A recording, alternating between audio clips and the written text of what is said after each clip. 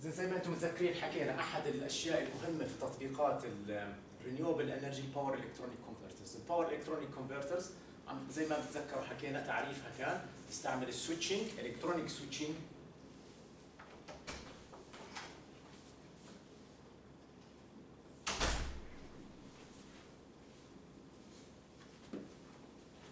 المهمه هون كلمه electronic سويتشنج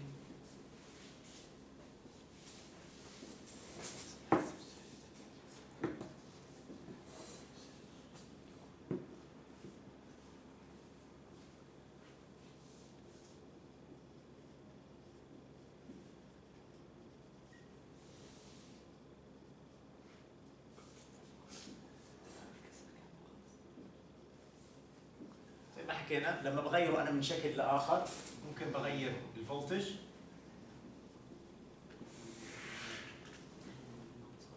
ممكن بغير ال frequency.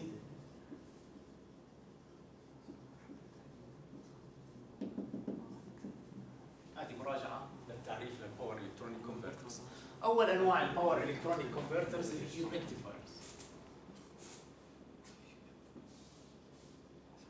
وال rectifier زي ما إحنا عارفين بتحول AC alternating current إلى DC current. ومتذكرين تعريف ال AC هو ال waveform ال periodic waveform اللي ال average تبعها zero. وال DC اللي هي constant in magnitude and direction. راح نطلع الآن على ال AC to DC converters أول أحد أنواع first type راح نحكي عن ال half wave rectifier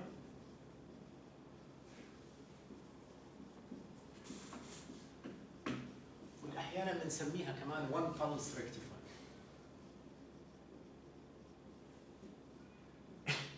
أحكي بعدين عن ال pulse number ففي بتساوي واحد. وحتى أبني one pulse rectifier.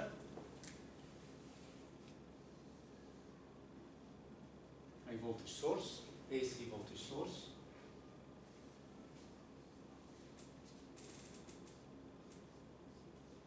نستخدم هون diode ال diode is an uncontrolled rectifier. أنا ما بقدر أتحكم فيه. هو بقرر when to be on و when to be off.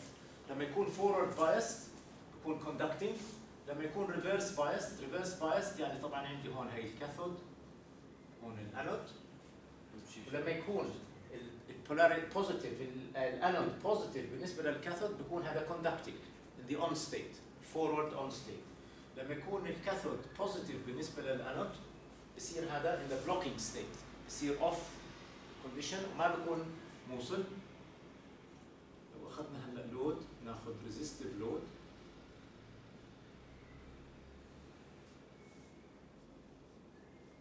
فبالحاله هاي إحنا عمالنا بنعمل rectification ل half of the waveform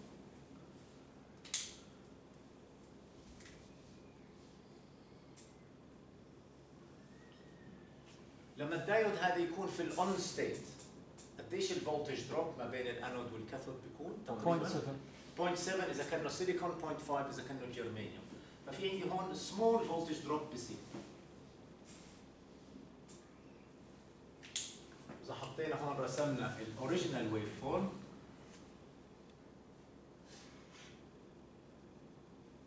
هذه اللي هي V source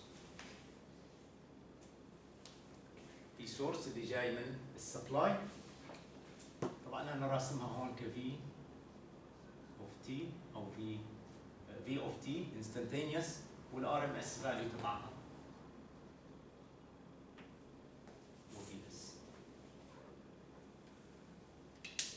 ال output اللي راح ينشأ عندنا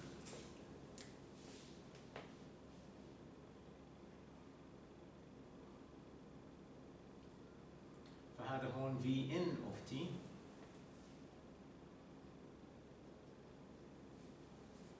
هون راح يكون عندي V out of t عشان أميز هاي ال waveform عن هاي ال waveform هذه ال input waveform اللي هي الحمراء هاي. خلينا نحطها بالأحمر كمان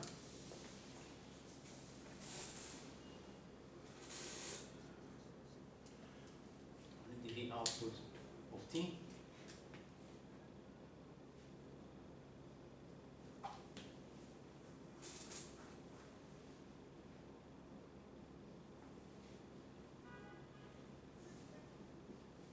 وال output voltage هو نفس ال input voltage بس عندي هذا الجزء. مش هيك؟ هذا half wave rectifier نطلع الآن على ال output هذا ال output هل هو DC هل هو AC لا لا. هو mixture of both AC and DC حتى أقدر أحاول أحصل على DC بدي أعمل له filtration بدي أحاول أمرره على فلتر وأخذ ال average value تبعه.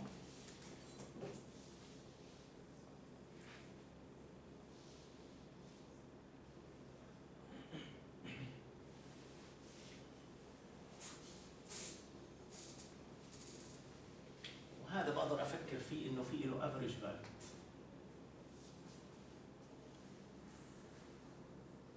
وراح أرمز لل average value VA VA وهاي هون V out of t V out of t عن مين بتحكي؟ V out of t بتوصف إيش؟ ال voltage تبعت ال output. بس في أنا كمان عندي V average هاي شو بتوصف ال waveform؟ باخذه it's a function of t والرمز تبعها الحرف سمول ولا capital؟ سمول اذا هاي شو بتر... شو بت... بتوصف؟ عن مين بتحكي؟ عن ال instantaneous voltage بتحكي عن التفاصيل هاي كلها هون والتفاصيل هاي كلها هون. لكن لو أنا أخذت هاي ال waveform وأخذت ال average تبعها إيش بنتج عندي؟ بنتج رقم processed هون مش RMS هون average لأنه DC ال average فال average لهذه ال waveform هذه ال average لهذه ال waveform V average شو بيساوي؟ 1 على 2 π من 0 ل 2 π V out هي omega t d omega t يعني ال average تبع هاي وال average تبع هاي وتكملتهم من هون. هذه إذا حسبتها تطلع معي. V peak على π وبتقدر إنك تحسبها. إذا عملت الحسابات تبعتها ال integration تطلع معك V peak على π هذا مش RMS okay؟ إيش هذا؟ ال average value هذا هو ال DC كيف ممكن أحصل على هذا ال DC بدي أعمل filtering أتخلص من ال AC الموجود بهاي ال signal وأحافظ بس على ال DC اللي موجود فيها. ال DC اللي موجود فيها هو V peak هذه طبعا V peak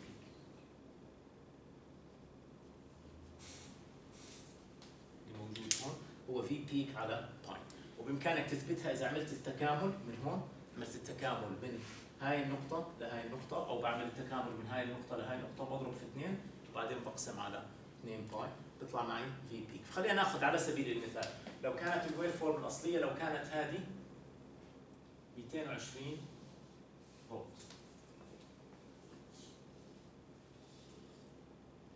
إيش V average؟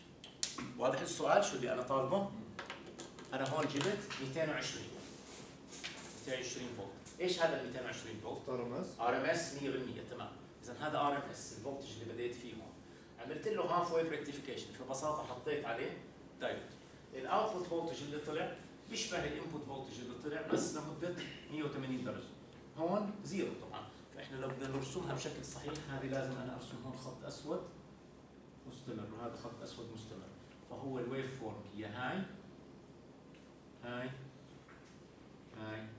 هاي. هلا هون بيجي نسأل السؤال. هذا عندي 220 قديش ال peak تبعه؟ آه، 311 ممتاز. إذا هذا هون ال waveform هاي الموجودة هون ال RMS تبعها V RMS تبعها بيساوي 220 فولت. معناها V peak تبعتها بتساوي 220 فولت. شو الحال بين العلاقة بال AC signal ما بين ال RMS وال peak ضرب. جذر اثنين فهاي تكون مضروبه بجذر اثنين حد يضرب 220 في 1.41 311 311 فولت. اذا هاي النقطة 311 هاي النقطة 311 لما عملت له rectification وين صار عندي 311 حتى أطلع ال average تبع هذا ال DC اللي طالع عندي هون لأي فورمولا بلجأ؟ لهي فهاي عندي صارت هون هلا. في